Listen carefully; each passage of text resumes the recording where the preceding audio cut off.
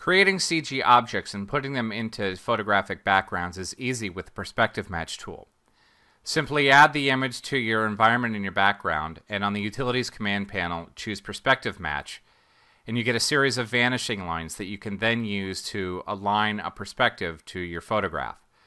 Bring back the home grid and align the provided lines to specific features within the photograph, and the home grid will automatically adjust itself to match the perspective of the photograph.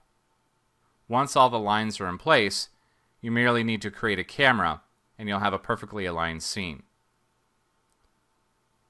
You can double check this by adjusting the camera position horizontally and vertically and also adjusting the distance. We double check it against the guidelines and then we're ready to bring back 3D elements within our scene.